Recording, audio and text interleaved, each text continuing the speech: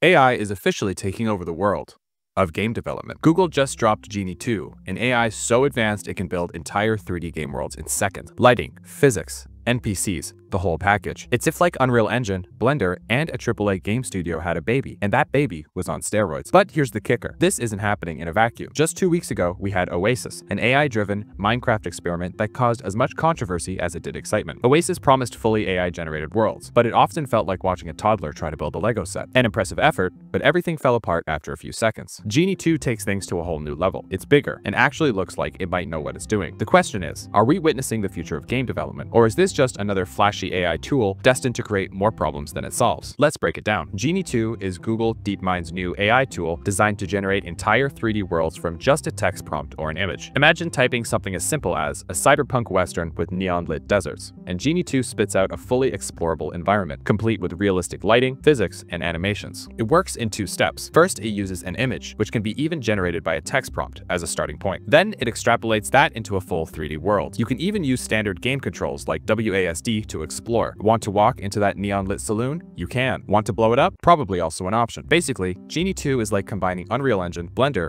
and a room full of overworked game devs, except they don't need coffee breaks. Let's not undersell this. Why horrifically terrifying, some people are saying that for indie developers, this could be a golden ticket. Solo creators or small teams can now make massive, complex worlds without needing a billion dollar budget or a team of 100 artists. For big studios, it's a way to prototype faster and crank out ideas like there's no tomorrow. And for players, it could mean more games, more creative, weird, and wonderful ideas hitting the market. Or so they say. Want to play a game about a pirate cat in space? Someone could make that happen. But as with all revolutionary ideas, there's a fine line between brilliance and disaster. Genie 2 doesn't just generate worlds, it creates worlds you can interact with. Picture this. Balloons pop when you slash them, water flows with realistic physics, NPCs react to the world around them and can even follow player commands. Google even showed off an AI character that could recognize the command go through the door, understand its surroundings, and execute the task. It's like training a puppy, but instead of fetching a ball, it's navigating a cyberpunk dystopia. It all feels like magic, but if you've ever watched a magician, you know that this trick comes with a catch. Here's the awkward part. Genie 2 has commitment issues. Right now, the world it generates falls apart after about 20 seconds. Objects glitch, physics break, and everything descends into chaos faster than a multiplayer game of Uno. And there's a deeper issue. Even if AI worlds become more stable, can they ever feel as intentional and emotionally resonant as those created by humans? It's like the difference between eating at a Michelin star restaurant and getting McNuggets at the drive-thru. Both are satisfying, but only one leaves a lasting impression. This is where things get spicy. For big studios and corporations, Genie 2 could be a cost-cutting dream. Imagine cranking out prototypes like they're coming off of an assembly line. For indie developers, this could potentially be a chance to punch way above your weight. Suddenly, you don't need to be a massive studio to create something breathtaking. But for people like myself, artists and designers,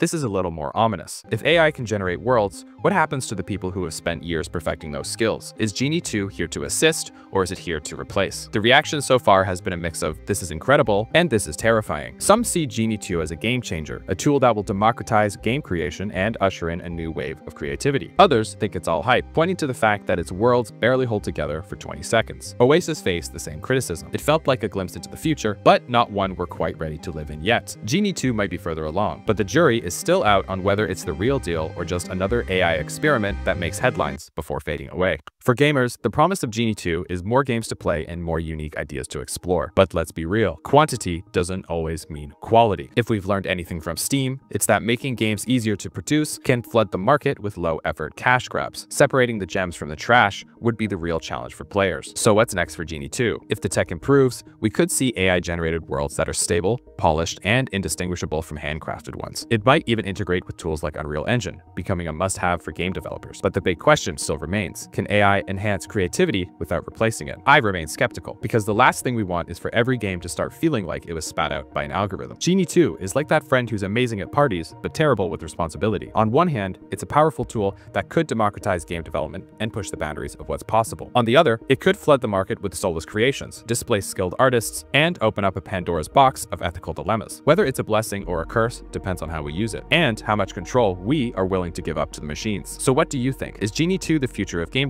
development, or is it just the latest overhyped AI experiment? Let me know in the comments. And if you're not already subscribed, Genie 2 might just create an AI version of you that does it for me. Until next time, stay curious.